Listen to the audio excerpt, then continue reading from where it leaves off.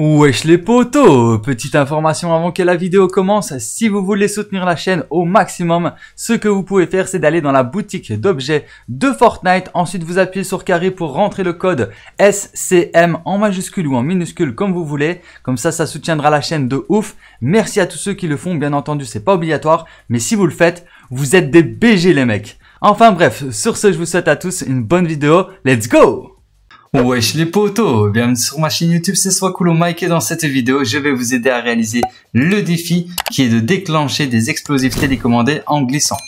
Alors les explosifs télécommandés, c'est tout simplement les C4 qui sont ici. Donc vous allez pouvoir les trouver dans des ravitaillements, dans des coffres normaux ou même posés au sol comme ça sur la map de Fortnite.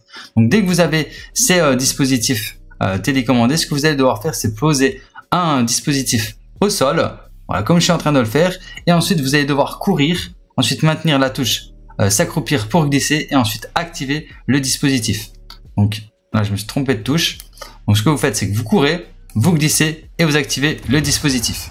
Et vous allez devoir faire ça avec deux dispositifs. Donc ne placez pas les deux d'un coup parce que si vous placez les deux d'un coup comme ça, je ne, je ne pense pas que ça va fonctionner.